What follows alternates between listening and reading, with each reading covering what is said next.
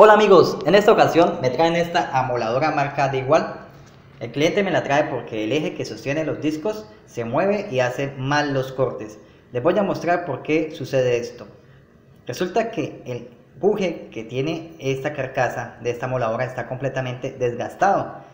Está bastante grande la boca del buje y el eje pues se mueve de un lado para otro porque no queda centrado.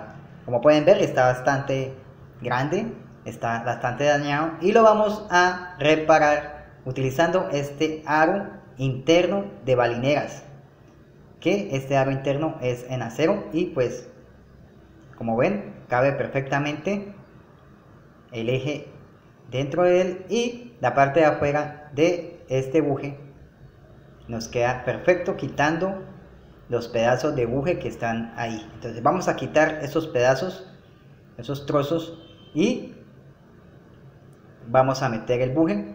Recuerda que hay que quitarlos todos. Aquí nos falta un poco pero ya después que los he quitado todos aquí ya lo metí bien. Ahora le vamos a dar unos golpecitos para que entre en su totalidad. Y listo ya quedó fijo ese buje nuevo.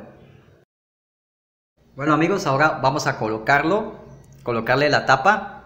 Vamos a colocar el eje en su posición y sin colocar los tornillos ya nos da un buen centrado y queda libre el eje. Como pueden ver queda bien centrado el eje y queda libre. Bueno amigos ahora colocamos los tornillos y a probarla. No olvides engrasar antes de armar ok para alargar la vida de estas herramientas y bueno, espero que este video les sea útil. No olviden suscribirse a mi canal, dejarme sus comentarios y darle clic a la campanita de notificaciones. Nos vemos hasta el próximo aquí en A la Mano y Fácil.